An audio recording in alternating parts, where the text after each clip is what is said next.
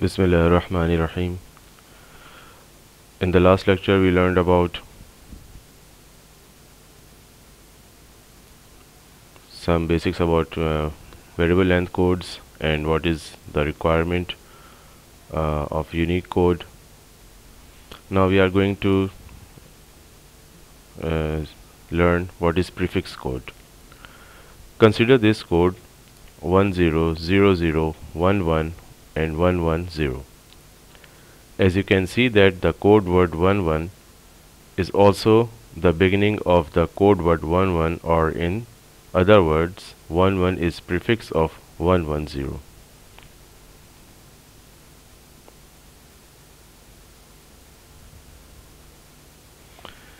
Although the code is unique, the receiver has to wait to get all the bits and to understand whether the transmitted code was 11 or 110. Since there are two codes, one code is 11 and the other code is 110, the decoder doesn't know whether if it receives only 11 then it doesn't know whether the transmitted code was 11 or 110. So it has to wait until the next bit is received. If it receives 0 together after 11 then it will understand the code is 110 but if it, it receives uh, 11 and then receives two zeros or some other code then it will know that it is uh, some uh, it was 11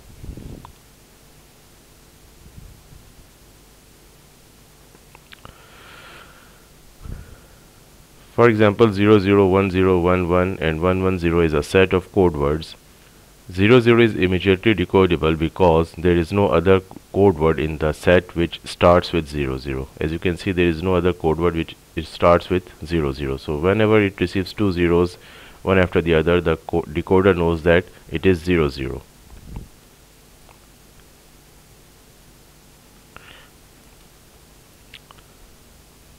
one zero is also immediately decodable the, for the same reason there is it's not prefix of any other code word. 10 is not in the beginning of any other code word. But 11 cannot be decoded just after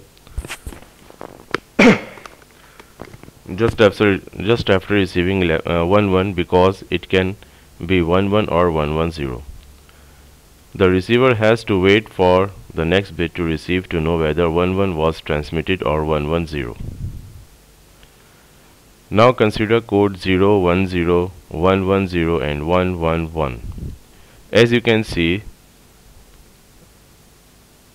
no code word is in the beginning of any other code word. In other words, it is a prefix free code.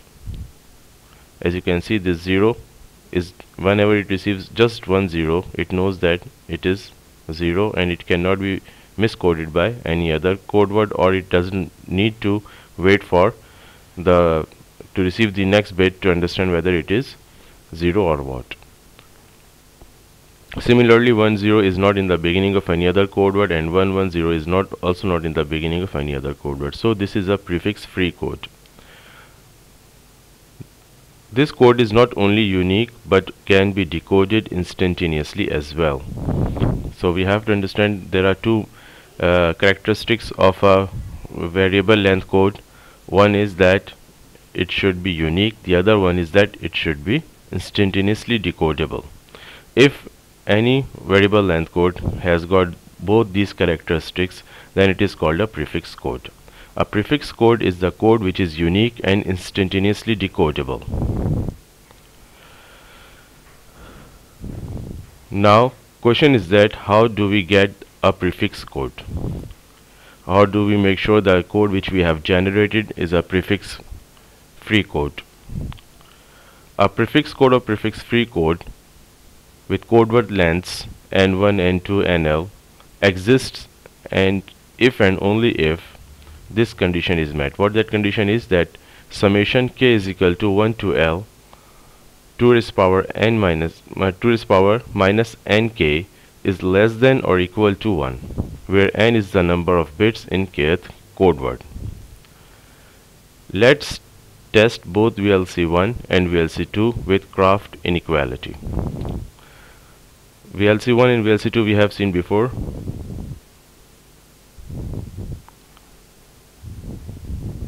this is VLC 1 and this is VLC 2 this is variable length code 1 and this is variable length code 2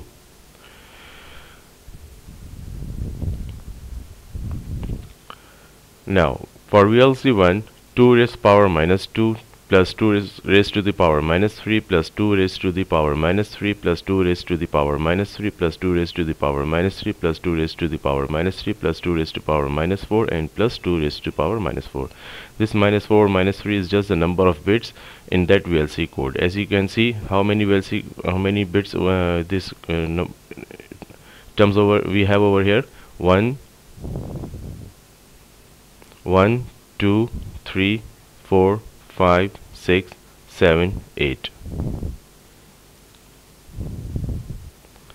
we have 8 code words over here. And minus 2 for this A where we have two number of bits minus 3 for these codes and minus 4 for these codes.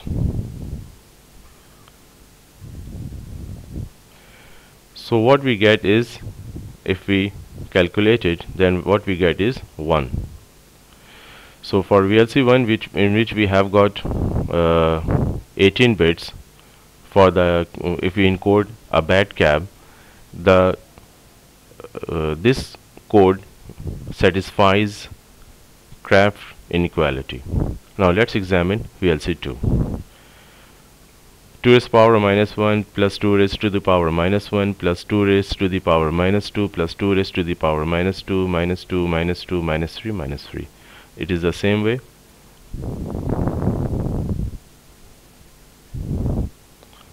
Minus 1 minus 1 minus 2 for all these codes and minus 3 for these two. So minus 3 minus 3 if we calculate it then what we get is 2.25 which is not less than 1 so it means this code word does not satisfy Kraft inequality however if we code the same sentence a bad cab using this VLC2 code we can encode it in, into in only 9 bits. But as we have discussed that uh, just reducing the number of bits is not the only goal the decoding or the correct decoding and easy decoding is also an, a, an important aspect of uh, source coding. So this VLC2 code uh, although looks very efficient in terms of number of bits it is not a good code word. A good code word is VLC1 which set is which uh, not only reduce reduces the number of bits but it it is also a prefix free code a unique code may not be instantaneously decodable but an instantaneously decodable code is always unique. What it says for example if we have developed a code word which is unique but we have to check whether it is instantaneously decodable or not. In other words we have to check the in, uh, Kraft's inequality or uh, to make sure that it is a prefix free code but if a code is instantaneously decodable then it must be a unique because without being a unique a code can never be instantaneously decodable. So if somebody tells you that it is an instantaneously decodable code it means it is a unique code as well. But if somebody tells you it's a unique code then it is not necessary that it is an instantaneously decodable code as well. If we know that a code is not uniquely decodable then it means it is not instantaneously decodable as well on the other hand if, if, uh, if we know that a code is not a unique code then we don't need to check whether it is a, whether it is instantaneously decodable or not. Because if a code is not unique then it can never be an instant instantaneously decodable code for sure. Now average number of bits. Average number of bits for a set of code words is defined as what is a set of code word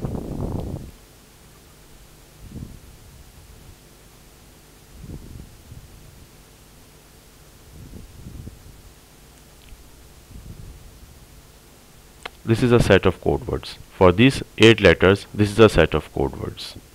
Or this is a set of code words. So as as you can see in variable length code not the total number of bits is not same for all the letters. So we have to understand the average number of bits in a code word set.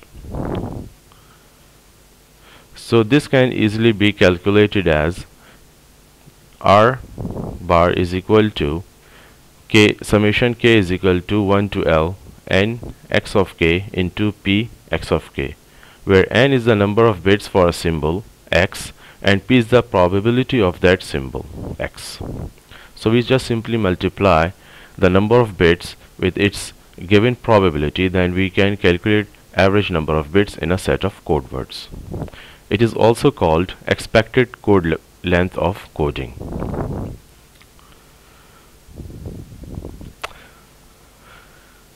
Now what is source coding theorem? We have so far understood all the understood all the terminologies and terms which are used in uh, uh, source coding the basics of uh, source coding.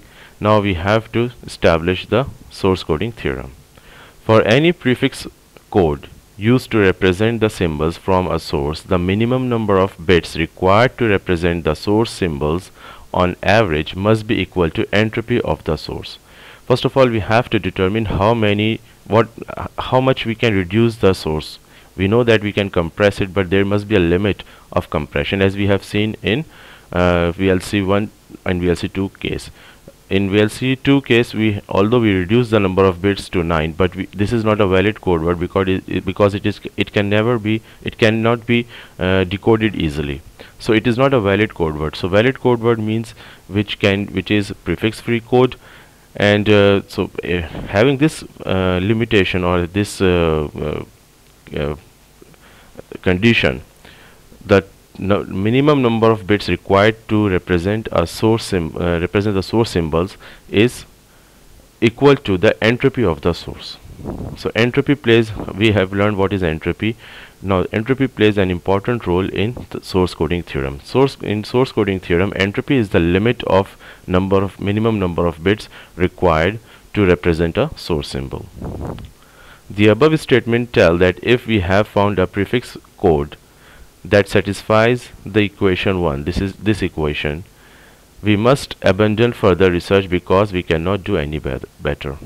What it says that for example if you have found average bits of length in a set of code words what is r bar? It is simply the average length of uh, bits in a source uh, code word set or source code symbols.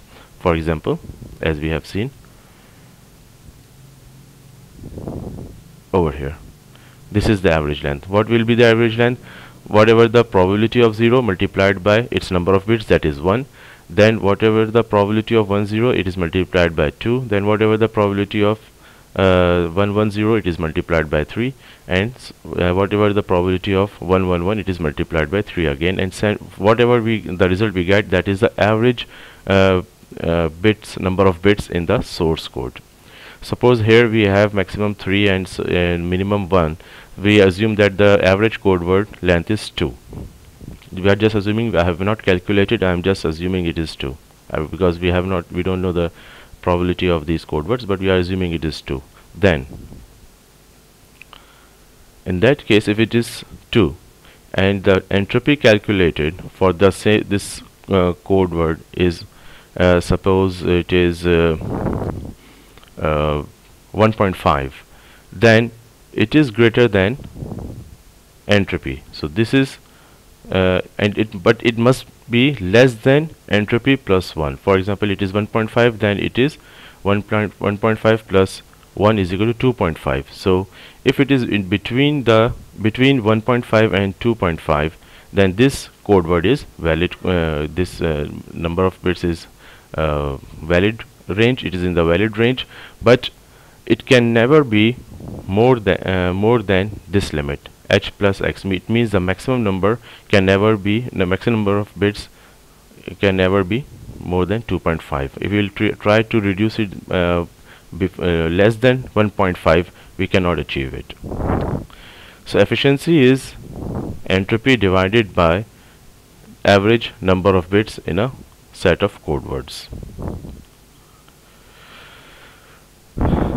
Example Consider a source which generates four symbols with probabilities P of x1 is equal to 0.5, P of x2 is equal to 0.3, P of x3 is equal to 0.1 and P of x4 is equal to 0.1. Then let's calculate entropy. The result of this calculation is 1.685 as you can see we have just multiplied the probability with its log base 2 0.3 is multiplied by its log base 2 and sim the same way we have calculated all the uh, logarithms and then we have added the terms to get 1.685 suppose we use prefix code. Now for this same uh, probabilities we have generated a prefix code which is x1 is equal to 0 x2 is equal to 1 0 x3 is equal to 1 1 0 and x4 is equal to 1 1 1 as you can see this is the same as the uh, uh, set of code words which we have seen before.